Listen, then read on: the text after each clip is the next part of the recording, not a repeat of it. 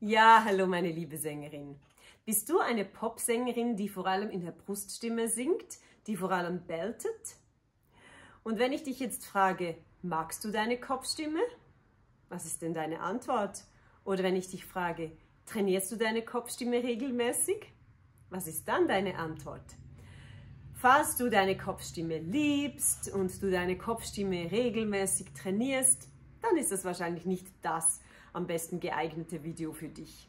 Aber wenn du dich so ein bisschen angesprochen fühlst und denkst, ah, meine Kopfstimme, die mag ich irgendwie nicht so gut oder ich mag sie nicht so gern wie meine Bruststimme oder ach, ich mag meine Kopfstimme nicht, wie sie klingt oder hm, ich finde, meine Kopfstimme ist irgendwie so schwach, ähm, dann könnte dieses Video richtig sein für dich.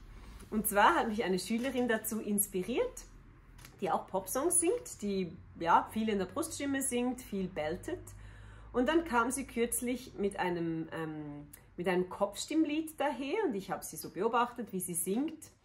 Und nachdem sie mit dem Song fertig war, habe ich sie einfach, einfach gefragt, wie ist denn deine Beziehung zu deiner Kopfstimme?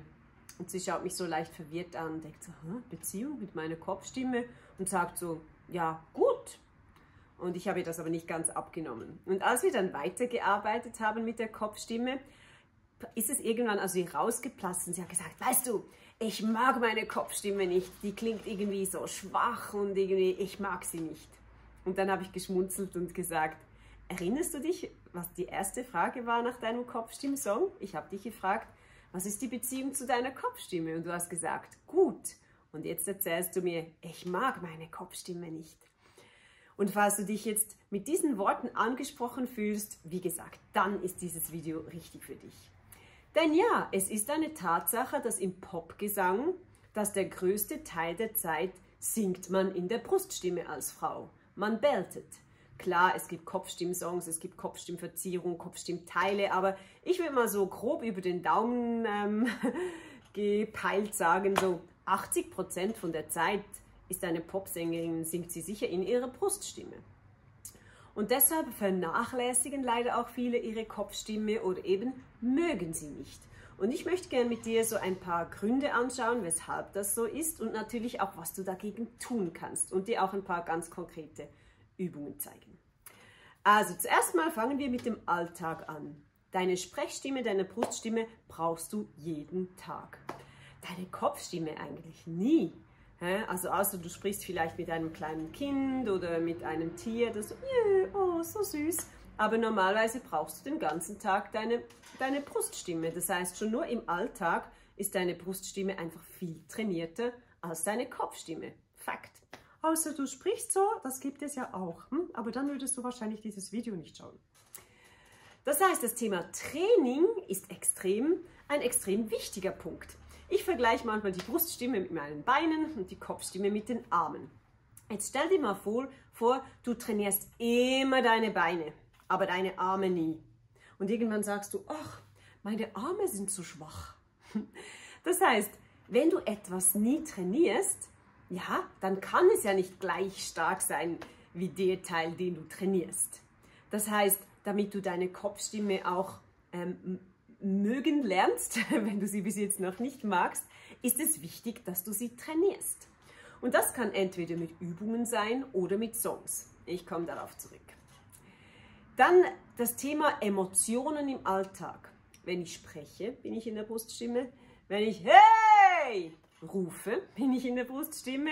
Und wenn ich irgendeinen Wutanfall rumschreie, bin ich auch in der Bruststimme. Das heißt, Emotionen drückst du eigentlich immer in deiner Bruststimme aus. Außer eben gesagt, wie ich bereits gesagt habe, wenn du mit Tieren oder Babys sprichst. Ähm, das heißt, deine Emotionen sind extrem verknüpft mit deiner Bruststimme. Und deine Kopfstimme ist viel weniger verknüpft mit deinen Emotionen, weil du ja im Normalfall deine Emotionen ausdrückst mit deiner Bruststimme. Sprechen, rufen, schreien. Das heißt, du musst auch da wie so diese Verknüpfung finden zwischen deinen Emotionen und deiner Kopfstimme. Komme ich darauf zurück. Dann, das klingt jetzt vielleicht ein bisschen komisch, habe ich aber schon oft erlebt. Ich glaube, das Wichtigste ist wie auch dein Entschluss, dich mit deiner Kopfstimme anzufreunden. Und wenn du dieses Video schaust, bin ich sicher, dass du schon auf dem besten Weg dazu bist. Das heißt, mach das auch wirklich mental. Ja, ich bin bereit, mich mit meiner Kopfstimme anzufreunden. Auch wenn ich sie im Moment noch nicht so mag, wenn ich auch noch nicht so toll finde, wie sie klingt. Aber setz dir mal wie dieses Ziel. Nimm dir diesen Entschluss vor. Ja, ich freunde mich an mit meiner Kopfstimme. Weil das ist so ähnlich wie, ich nehme jetzt noch einmal, Arme, Beine.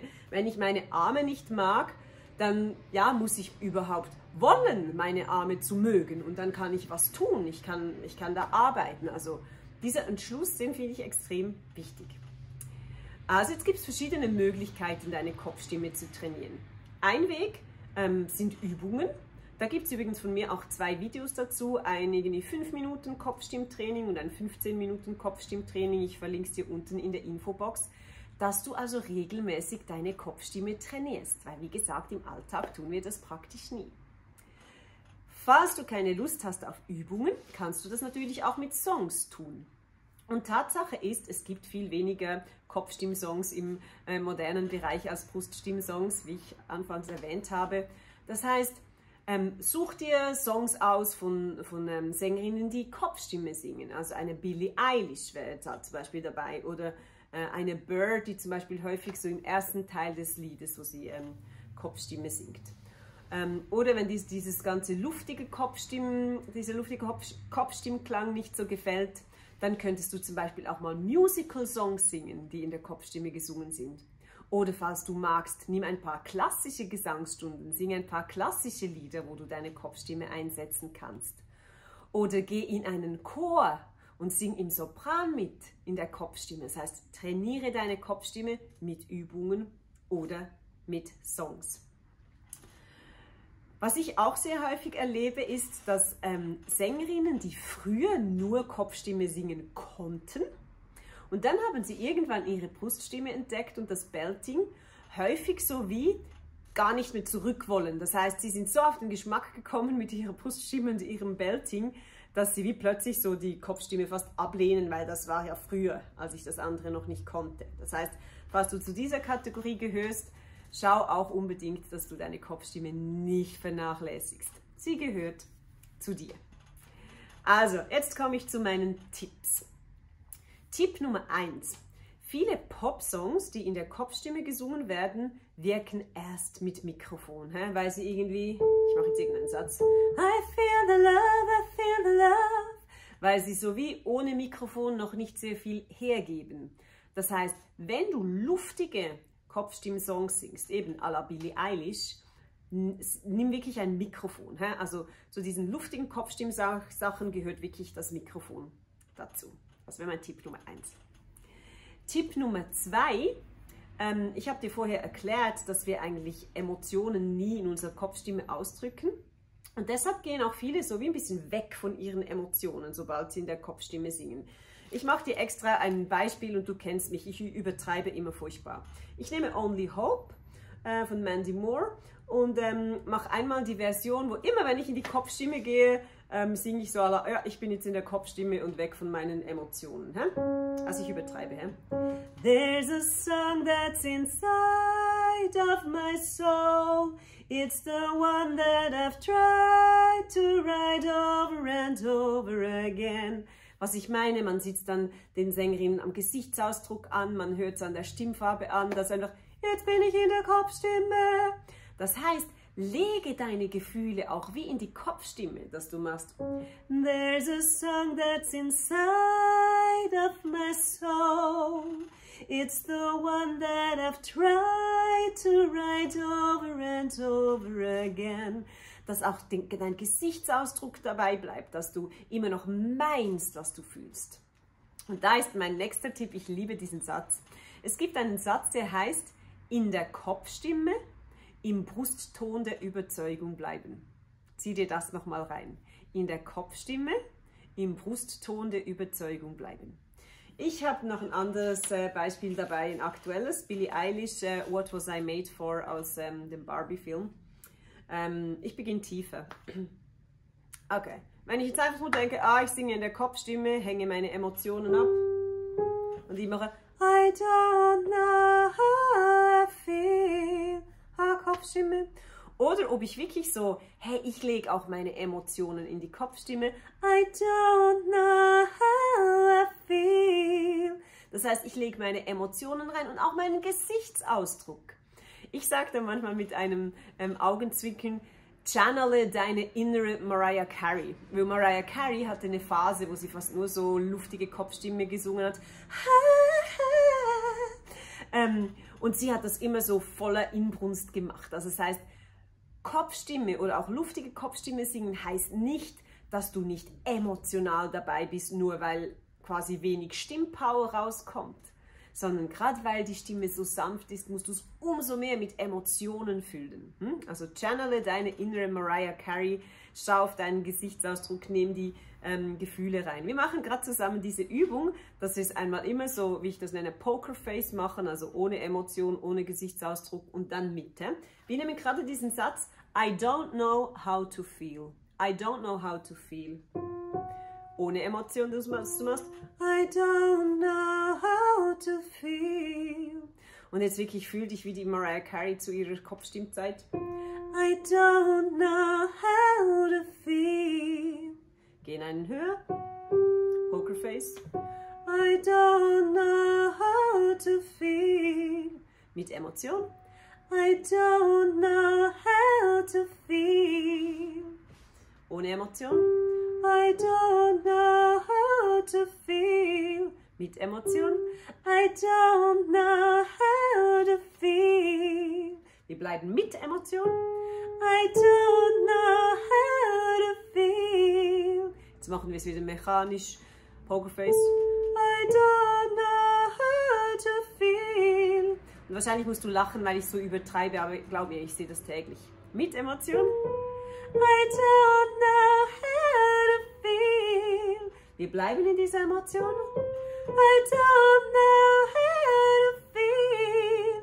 Ohne Emotion. I don't know how to feel. Und dann wird es brutal langweilig. I don't know how to feel. Also wir schon jetzt sind wir dann auf dem Originalton. Hier ist es. I don't know how to das war die Originalhöhe. Das heißt, pack deine Emotionen in die Kopfstimme, bleib in der Kopfstimme, Kopfstimme im Brustton der Überzeugung, denk an Mariah Carey. Ich brauche manchmal auch den Satz ähm, sterbender Schwan und mit sterbendem Schwan meine ich eben dieses I don't know how to feel. Obwohl ich wenig Stimme gebe, ist es dramatisch. Ja, deshalb der sterbende Schwan. Ich glaube, du weißt, was ich meine damit. Und noch als letzten Tipp, bleib sprechnah. Hm? Also, dass du wirklich so nah wie möglich an der Sprechstimme bleibst. Ich mache manchmal mit den Schülern auch die Übung. I don't know how to feel. Das ist mal einfach wie nur spreche, als würde ich eine Kopfstimme sprechen, was wir beide zum Glück ja nicht tun. I don't know how to feel. Und dann ist es genau da. I don't know how to feel.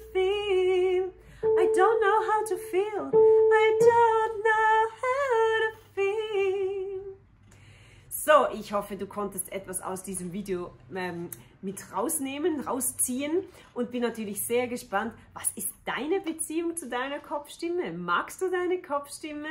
Trainierst du deine Kopfstimme? Schreib es mir unten in die Kommentare. Ich selber zum Beispiel, ähm, ich singe unterdessen seit 38 Jahren. Ich habe die ersten 10 Jahre meines Lebens nur Kopfstimme gesungen, weil ich war Sopran, habe ähm, klassisch gesungen, war nur in der Kopfstimme unterwegs, so als Teenager. Und ähm, ja, habe dann die Bruststimme entdeckt, das Belting und so weiter. Und ähm, war auch mal in der Phase, wo ich meine Kopfstimme wie nicht mehr so mochte, weil eben das war früher und ich war froh, dass ich das andere entdeckt habe. Und unterdessen liebe ich meine Kopfstimme und ich trainiere sie auch täglich, zum Beispiel auch beim Einsingen. Ich beginne immer in der Kopfstimme und ich finde, Kopfstimme und Bruststimme, wenn du beides machst, also einerseits ist es sehr wichtig für den ganzen Klangfarbenreichtum, dass du viele Farben zur Verfügung hast, aber andererseits ist es auch wirklich sehr wichtig für die Stimmgesundheit und für all deine Mischungen, für die Muskelkoordination von, von Brust- und Kopfstimme. Also ich wünsche mir sehr für dich, dass du dich mit deiner Kopfstimme anfreundest, dass du sie trainierst, sei das mit Übungen, sei das mit ähm, Songs, und ähm, ja, wenn dir dieses Video geholfen hat, dann freue ich mich über einen Daumen hoch oder über einen Kommentar. Und falls du es noch nicht gemacht hast, dann abonniere doch meinen Kanal und ich freue mich darauf, wenn du beim nächsten Video wieder mit dabei bist. Tschüss!